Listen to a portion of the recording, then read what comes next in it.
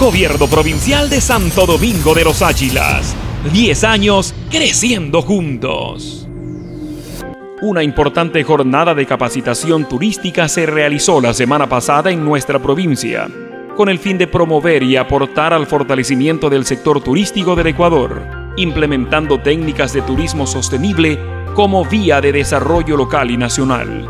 Durante el taller Talk Santo Domingo, Hablemos de turismo. Los asistentes aprendieron sobre planificación turística, identificación de mercados, fotografía y desarrollo de nuevos destinos. Gobierno Provincial de Santo Domingo de los Águilas.